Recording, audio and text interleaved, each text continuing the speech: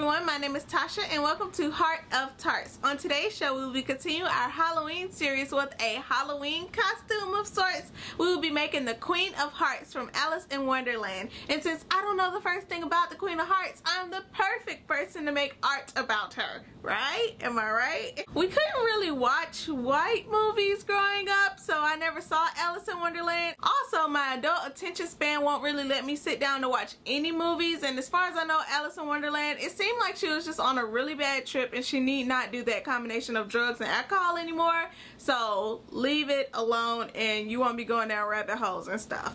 Anyway, many girls will be dressing up as the Queen of Hearts for Halloween and Heart of Tarts is a derivative of Queen of Hearts. How do I know? Because I made it up myself. So we will be making a tart for our namesake today. Here we go. We're going to start by preheating our oven to 350 degrees as always and I'm going to go through this really quickly to a food processor adding one and a half cups oatmeal and four pitted dates. Blend those together until they form a fine crumb then put in 1 4 teaspoon salt, 1 4 teaspoon cinnamon, 3 tablespoons coconut oil and 1 4 cup almond milk and pulse to combine. Press that mixture around a 9 inch tart pan and then bake for 10 to 15 minutes. I do almost the same crust every day so see the description below for the recipe. For our filling I'm going to use pears and bananas. I peeled the pears and then I cored them by slicing off all of the sides and added them to my food processor along with one and a half bananas.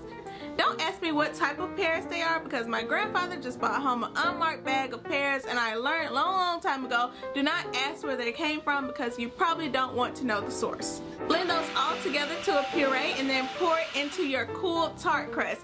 I thought by letting it sit, the banana would make it a little bit gelatinous, but I'm still learning this cooking chemistry as I go along. Some things bananas make gelatinous and other things like this, it just makes it applesaucey and I don't know about it. It's enough solids in there to hold the topping, but it is making my tart crust really soggy, so you may want to drain it or something. In a cheesecloth? I don't really know. Next, we're going to make my favorite part of this tart, the Queen of Hearts Fluffy Big Red Afro. So we're going to take a pint of strawberries and cut off the tops and the bigger strawberries that are wider than they are circular, I cut off the sides and then I cut them down the middle to get the maximum amount of red surface area per strawberry. So I placed the red strawberries on for my hair and then I moved on to her lips.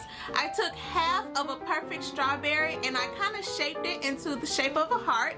I cut it in half horizontally and I placed it exposed side up where her lip should be. She has a really strong lip line so I placed raisins across so you can really see where her lips part. I don't know why her lips look like that but they do. And then I moved on to my nose and my eyes. I cut three slices of banana and then I shaped one into a nose which I don't know how well I did but it looks like a cute little button nose and then I did two almond shapes for her eyes. I placed raisins on for her pupils and the first pupil I put on looks really really dilated like she was on the same trip Alice in Wonderland was on so I replaced it with a normal size pupil like she's down from her high and then I put another one on the other eye. I then made my eyebrows also out of raisins and my eyeshadow. She usually has on blue eyeshadow, but it is so difficult to find a natural colored light blue fruit or vegetable that I just went with green. Like I didn't even have time to look today. I took a kiwi, I sliced it, the green part only, leave out the white part, and just cut it until it fits between her eyeball and her eyebrows. It covers the whole thing. It's no blending whatsoever. She is so tacky. And don't look at my lipstick or my eyeshadow. I tried new things today and I don't really like them. So yeah, she turned out like I drew her and that's just about all we could ask for. Did you all know that I draw all my tarts before I make them? This is my head note. This is my recipe. That's, that's my queen of hearts. She looks really bad. She kind of looks exactly like my tart. I wish my filling wasn't so liquidy and making my crust a soggy mess, but what can you do? what can you do? I make a tart every day. What can you do? Thank you so much for watching today. If you like this video, give it a thumbs up. If you like me and want to see more of my fabulous delicious tarts, subscribe to my YouTube channel. And if you really care, share it with your friends on Facebook, YouTube, Tumblr, Twitter, Instagram. I'm all over the place. So at reply me when you do it. Bye!